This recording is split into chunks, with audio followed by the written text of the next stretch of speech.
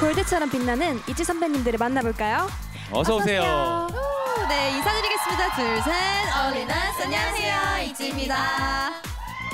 네. 먼저 리아 씨, 어, 그 오랜만에 컴백한 소감이 어떠신가요? 네, 이렇게 멤버들과 그리고 또 우리 믿지들과 함께 할 수 있어 너무너무 기쁜데요. 이번 골드 활동도 화이팅해서 해보도록 하겠습니다. 네, 이번 신곡 골드 가사가 있지 선배님들 그 자체더라고요. 이 어떤 곡인지 소개 한번 부탁드립니다. 네, 저희 타이틀곡 Gold는요. 너를 만나 나의 세상이 뒤집힌 그 순간의 감정을 Gold에 빗대어 표현한 노래이고요. 락 사운드와 힙합 사운드가 잘 섞인 아주 좋은 노래니까 많이 들어주세요. 네, 좋습니다. 어, 있지 분들 하면 또 안무를 빼놓을 수가 없는데요. 어떤 포인트 안무가 있을까요? 네, 저희 이번 포인트 안무는 헤드뱅잉 안무라는 포인트인데요.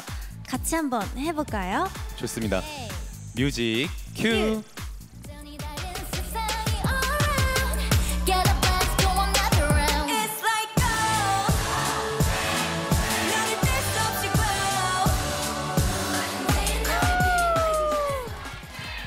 어, 채령 씨, 저희 골드 안무 어땠나요?